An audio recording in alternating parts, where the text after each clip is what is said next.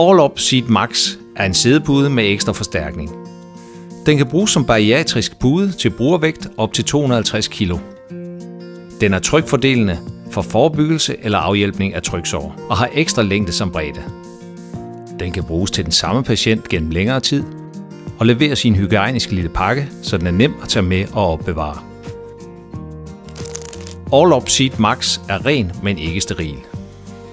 Udover selve puden indeholder pakken en standardadapter til oppumpning, et pusterør til manuel oppumpning, en afdækkerlabel til at placere over ventilen efter oppumpning og en brugervejledning. Fold puden ud og sæt pumpen i den selvlukkende blå ventil, til den sidder stabilt. Og pump op. Vi har tre forskellige pumper. Du kan bruge alle pumper, så længe stussen passer i ventilen eller den medfølgende adapter. Har du ingen pumpe, kan puden pustes op med munden ved hjælp af det medfølgende pusterør. Pump puden op til det omsluttende papirbånd, stop op, springer og fjern pumpen.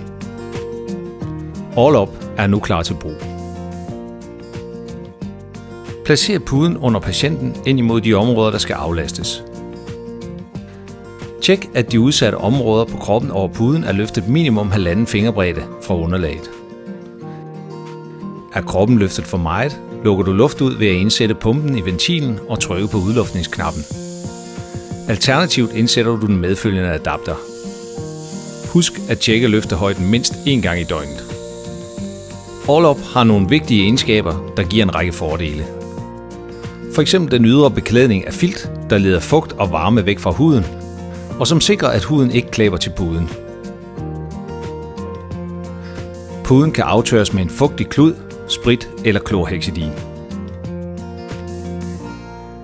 Denne video er et supplement til den medfølgende vejledning.